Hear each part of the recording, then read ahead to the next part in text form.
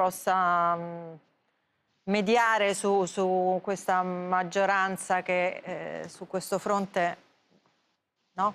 Cioè, è abbastanza Beh, io, curioso guarda- che Draghi si, si sia appoggiato a, appunto a un, a un io, guarda, progetto, a una, a una proposta, scusate non mi veniva la parola, dei Fratelli d'Italia quindi dell'opposizione.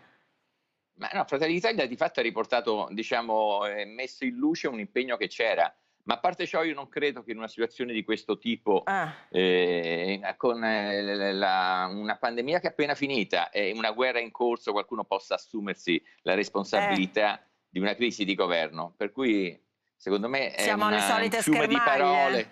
Sì, è un fiume di parole che poi concluderà, si concluderà con il nulla. È anche ovvio, sai, siamo in una fase, bene o male, in cui abbiamo anche appuntamenti elettorali e quindi devi mandare dei segnali. Tu prima hai fatto vedere quel, eh, quel sondaggio all'elettorato di riferimento, ma che qualcuno, soprattutto un ex premier, si assume la responsabilità in un momento del genere di creare eh, una crisi di governo o di provocare una crisi di governo, beh, mi sembra una cosa che mi meraviglierebbe molto. Molto. Allora, dobbiamo andare in pubblicità. Ho visto Del Mastro guardare l'orologio. Resta o deve andare? Mi sta per partire un treno, dovrei proprio Ah, sta a partire il treno? No, per carità. Pubblicità, grazie a Del Mastro, poi torniamo noi per l'ultima parte.